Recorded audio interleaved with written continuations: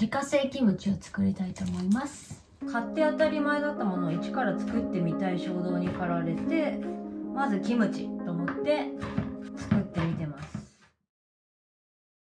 まずは野菜の水抜き塩で水を抜いていこうと思います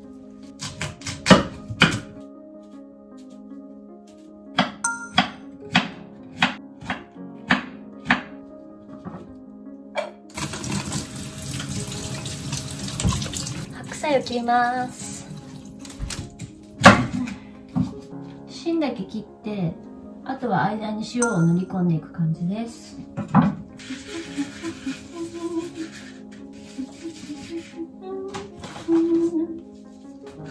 芯の方が水が抜けづらいので先にたっぷりつけます。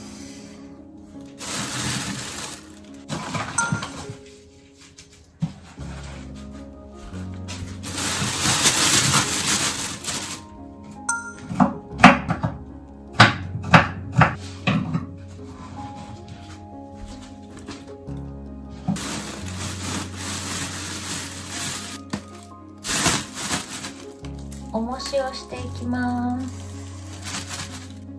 じゃーん。これを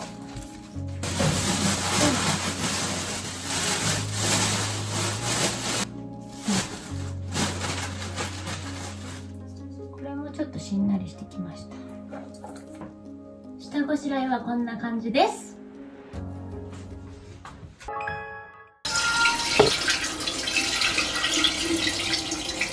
菜の水を今抜いてます。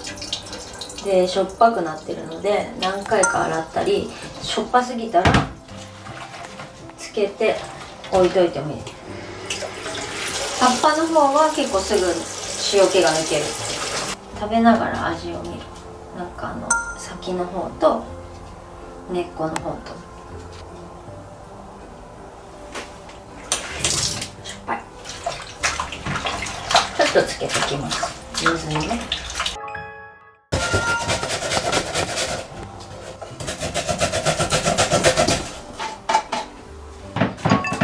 買って当たり前だったものを一から作ってみたい衝動に駆られてまずキムチと思って作ってみてます。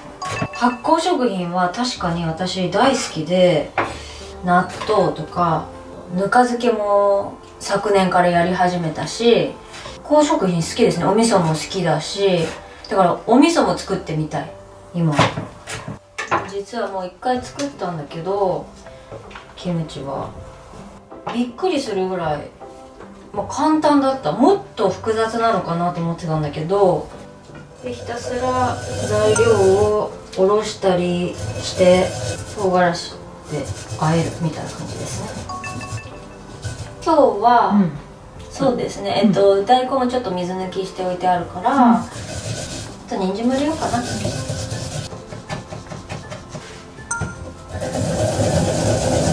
んな感じ。よし、これができましたね。それが、もうなんだな。で、あんまり抜けすぎると旨味もなくなっちゃうので、様子見ながら抜いていく。まだしょっぱい。もうちょっと入れときます。では辛いのを作っていきます。昆布ちゃん。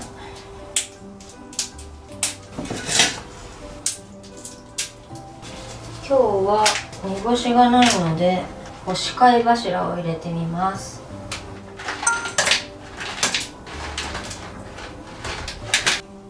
ナンプラー。はちみつ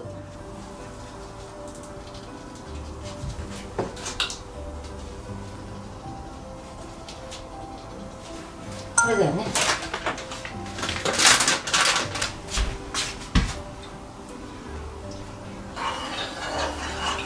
うりち米ともち米が入っている。お団子を作る粉ですね。これが海苔になってさっきのあの野菜とかこれから入れる唐辛子がちゃんと白菜に絡んでくれます。これは入れた方がいいです。もうトロントロンに。なりました。辛いのを入れちゃいましょう。この中にね。大好きな韓国産の粉唐辛子。これは上から入れると自爆します。静かに入れてください。こっちの粗挽きも入れます。きた美味しそうですね。ただ辛いだけじゃなくて味にちゃんと深さがあってかなりやみつきになります。辛いの好きな人にはこれがても美味しそうに見えると思います。うんまだしょっぱいけど葉っぱのとこだけはいい感じ。そしたら絞って辛いペーストと混ぜる時もしっかりと水気を切らないと酸っぱくなっちゃうみたいです。うんいい感じになってきました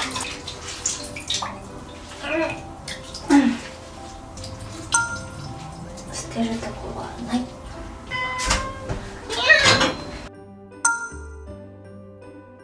でさっきの海苔を入れるとこうドロッドロッとなって白菜に絡みやすくなります。2つ1つで足りるかもね。足りなかったところをために。ちょっとこれを置いといて結構ここは丁寧にやった方がいいと思います。水気を取ったところにこれをジョーンジョジョジョジョジョ練り込んでいきますキムチの酸味が好きな人とかは一月とか3週間とか一月とか私はあんまり酸っぱいのが好きではないのでうん早め。でも前回はもう3日目ぐらいから美味しかった。まあこんな感じでゆったりと作るのが楽しいです。あれ？そうだ。大根と人参入れてない。本当だ。ぬか漬けした人参があるんでそれをちょい足しします。お大根さんぬか漬けした人参を入れたらどうなるんだろう私今お大根様って呼んでました？あのー「千と千尋の神隠し」のおじら様ですね。まあこんな感じで入れてみよう。なんかこう食べ応えのある種になりまして。いやーちゃんと作れた方がいいなと思うんだけどなんか完成するのが正解とかあ終わりじゃなくてその工程を楽しみたいからいいじゃんなんかその時湧いてきた気分で作ろうよみたいな。そんなノリです。これをひたすらつけていきます。ちょっとこれ間に合わないんでこんな感じで芯のところは丁寧にすり込んでで葉っぱのところはもう袋に入れてもみもみすればいい感じにできます。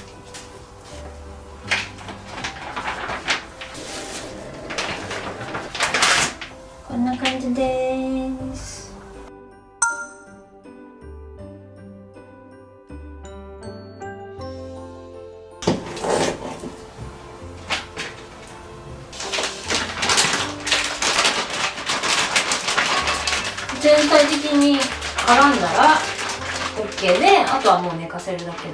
あの時期によるけど置いといて半日ぐらい置いといて。でそれから冷蔵庫に入れて好きな時期まで寝かす。丈夫なのに入れないと破けちゃうんで気をつけてくださいね。